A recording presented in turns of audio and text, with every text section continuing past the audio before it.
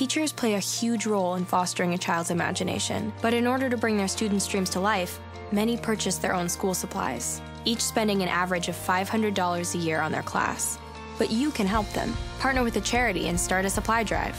Or donate online to organizations that provide materials to classrooms. Because inspiring young minds takes an entire community. The more you know. Love. It's what makes a Subaru a Subaru.